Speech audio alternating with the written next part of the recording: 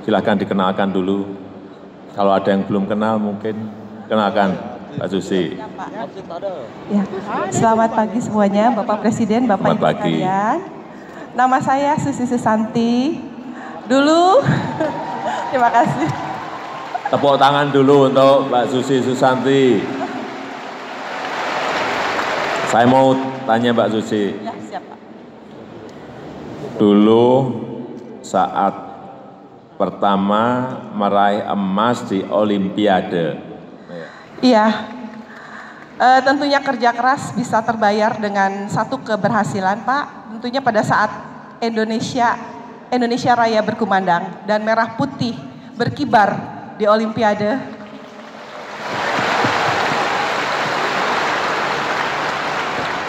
Ada satu keharuan, kebanggaan, dan kebahagiaan yang luar biasa sekali.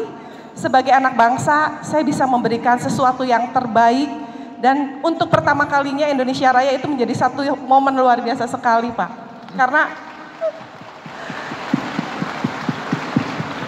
karena biasanya mungkin lagu kebangsaan negara lain, bendera merah, bendera-bendera mungkin dari negara lain yang berkibar, Pak. Iya. Tapi di situ pertama kali merah putih berkibar itu satu mungkin kebanggaan dan keharuan sebagai anak bangsa yang betul-betul tidak bisa dilukiskan, Pak. Ya, tepuk tangan untuk Mbak Susi Susanti.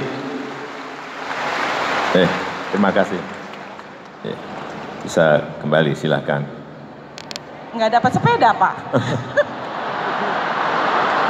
Masih mau sepeda? Ditambah juga boleh, Pak.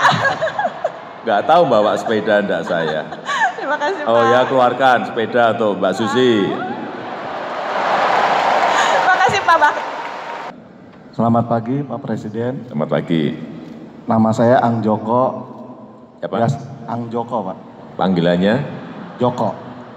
Joko Pak. Joko. Asli Pak. Mana coba? KTP-nya mana? Bener, Pak. Eh, Saya. Asli. Mi- muka mirip Ahok Pak.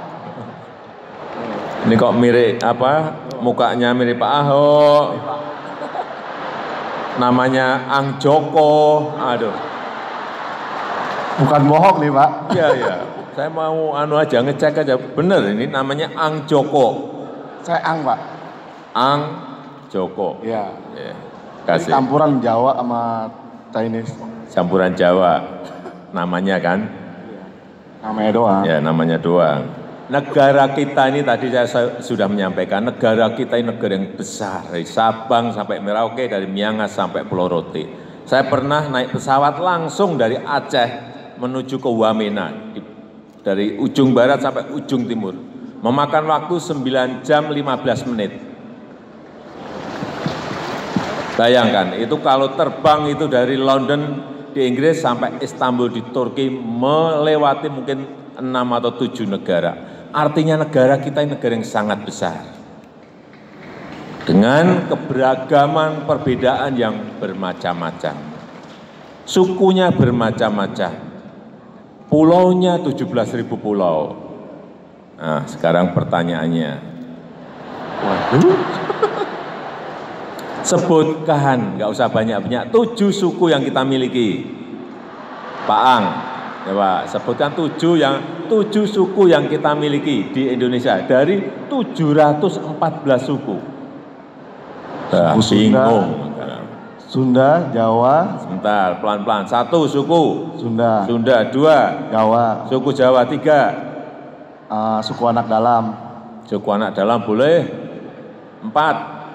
Suku Papua, Baduy, suku Baduy boleh di sini, boleh. Eh, Lima, suku Dayak, budaya betul. Enam, eh, suku Chinese Pak. Kan Chinese suku juga Pak. Terus enam, tujuh, Batak, suku Batak. suku Batak Ah. betul. Ya udah. Sepeda ya Pak. Saya beri sepeda, ini saya beri foto. Eh, Jadi tadi baru berdiri di sini nggak belum ada lima menit tapi fotonya sudah jadi. keren Pak. Saya hanya ingin menyampaikan bahwa kerja cepat itu diperlukan sekarang ini. Karena negara yang cepat akan mengalahkan negara yang lambat. Bukan negara besar mengalahkan negara kecil, bukan negara kaya mengalahkan negara miskin, tetapi negara yang cepat akan mengalahkan negara yang lambat. Dan kita ingin menjadi negara yang cepat. Ini contohnya, ini enggak murah, ini mahal. Karena di belakangnya ada tulisan Istana Presiden Republik Indonesia. Ini yang yang mahal itu. Tuh, Pak. Tadi saya juga kaget ya nggak nyangka kalau dipanggil sama bapak. Karena memang nggak dikasih tahu dari awal. Cuma yang pasti saya senang sekali bahwa eh, bapak memberikan perhatian ya. Pada saat acara imlek ini lalu juga eh, tentunya tadi ada pertanyaan-pertanyaan yang mesti saya jawab juga ya. Jadi pengalaman saya waktu jadi eh, jadi atlet waktu itu. Perasaan pada saat mendapat medali di Olimpiade. Jadi itu aja sih buat saya kaget dan tegang juga sih kalau biasa mungkin di depan di depan wartawan atau di depan apa eh, TV mungkin ya biasa tanya jawab tapi di depan presiden ditanya seperti itu sama bapak agak tegang juga. Kyonghi Kyonghi, Wangse Ruyi, Sinian Kuaile. Semoga tahun ini kita damai, sejahtera, dan semakin makmur, baik negara dan bangsa. 嗨，大家好！我在这里祝大家新年快乐，万事如意，身体健康，步步高升。祝大家生意兴隆，谢谢。Kami, segenap keluarga besar Koko Cici Indonesia mengucapkan Selamat Hari Raya Imlek 2020. 恭喜发财，